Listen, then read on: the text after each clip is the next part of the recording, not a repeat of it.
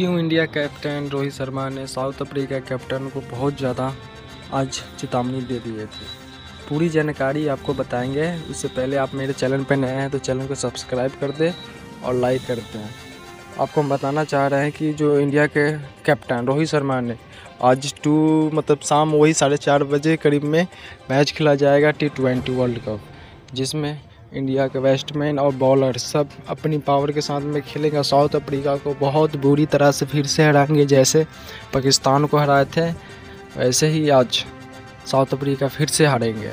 उसी के कारण इंडिया के कैप्टन आज रोहित शर्मा ने खुद बताया कि जो साउथ अफ्रीका बहुत अच्छे से बहुत बुरी से हारेंगे, जिसके हमारे इंडिया के बॉलर और बैट्समैन सबकी मजबूती बहुत ज़्यादा है। इसलिए साउथ अफ्रीका कैप्टन गुस्सा गया था।